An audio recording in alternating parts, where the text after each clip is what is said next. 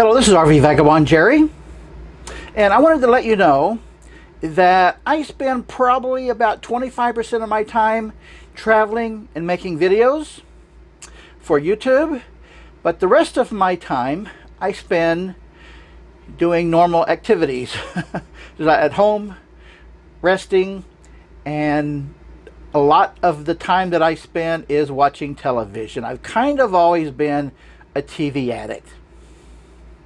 So what I want to do in this video is to show you my video entertainment system, which is very complex actually. And mostly I watch television from satellite TV and from the internet. While I watch a lot of videos and movies and also from my collection of about 500 DVDs. Most of them which I have recorded myself, a collection of all sorts of kinds of videos. And I have a lot of video equipment that I'm going to show you and how it all works right here in my motorhome. First I'm going to show you the video equipment that I have in the living room, which is in these cabinets up here. Now this is the DVD player that came from the factory. And on the right side I have two digital video recorders that are also DVD recorders. This is my main one. I use that one only when I want to copy something from one DVD to another. And then here is my satellite receiver. I also do some transferring of video from my computer to my DVD recorder. And then sometimes I do transferring from my DVD recorder slash digital video recorder to the computer. So let me show you the equipment I have to do that. So sometimes I find things on the internet that I want to copy and save on a DVD and that's what this is for. This plugs into the HDMI outlet on my computer and then these audio video RCA connectors goes to my DVR recorder. And that lets me record movies from the internet to a DVD that I want to keep or just any videos that I find on YouTube or someplace. Now if I want to transfer a video from my DVR or a DVD to my computer, which I rarely do, but there has been some times that I've done that, and that requires this device that is called a dazzle. So from that I plug in my yellow, white, and red RCA connectors to the connectors here on the dazzle, and then this is a regular USB into my computer. Now also, sometimes when I rent a DVD and I like the movie so much that I want to keep a copy of it on a DVD, then I will copy from an original DVD to my DVR and then copy it down from my DVR to a DVD. That HDD is hard disk drive, that's the DVR. And as you may know, most movies on DVDs are copy protected. Well, let me tell you something.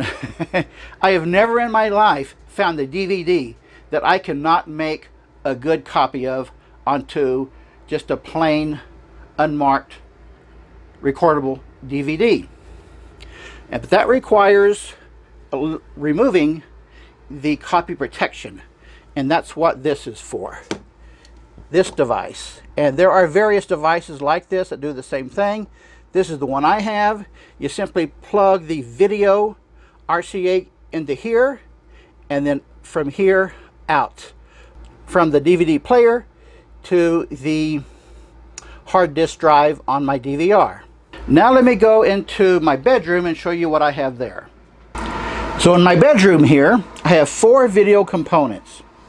The one on the bottom is a DVD player with a VCR that I rarely use anymore, but still I do sometimes. And then the second one here is a duplicate model of the DVR slash DVD recorder that I have in the living room. This one is a Blu-ray player and then this one is my satellite receiver. Now with those four pieces just sitting on the counter there, you're probably thinking when I drive around they are going to slide off onto the floor. Absolutely. So what I did was I got four earthquake straps, they are called, that has a self-adhesive backing onto here and then this buckle and then they are on the other end of the strap nailed down to the countertop.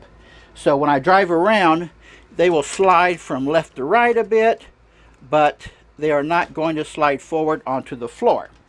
And by the way, I have had a problem with my satellite receiver and my other equipment when I change power sources, like from the generator to battery, shore power to battery, it can cause an, a very minute second power loss when that switch is made. So to prevent that from happening, I also got on both bedroom and on the living room a battery backup that I plug those three items in so that when I do have a power switchover, it's not going to cause that momentary loss of power that requires my satellite receiver to completely reboot itself and then it loses the clock time on my other equipment. Now one more thing I wanted to tell you. Oh look, there's the Northern Lights. one thing I wanted to tell you is about using headphones. I use headphones in three different situations. Number one, when I'm boondocking in the winter and I want to conserve as much battery power as I can, I will use the headphones instead of the speakers on the TV to save a little bit of electricity. And number two, if I'm parked next to someone and I'm having my windows open, then that allows me to watch TV and listen to it. And I do tend to turn my TV up pretty loud.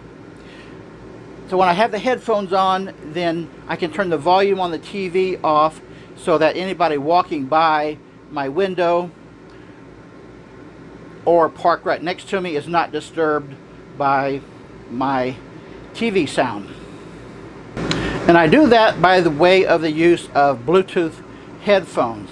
Now, this sound bar came with the motorhome from the factory, but I found that that sound bar doesn't give me any better sound than the speakers on the TV itself.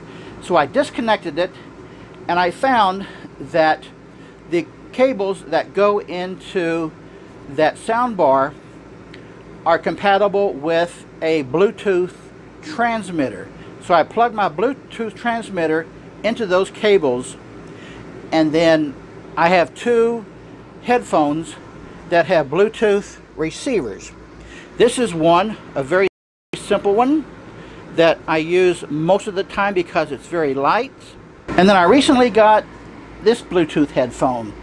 It doesn't work any better except it has a much better padding and it blocks out external noise which is really important if I'm at like at a truck stop and there's a truck next to me that has his diesel engine running all night then that way I can block out noise from the diesel engine so that is the number one way I keep myself entertained and do things for my video entertainment and I might say video requirements, I started to.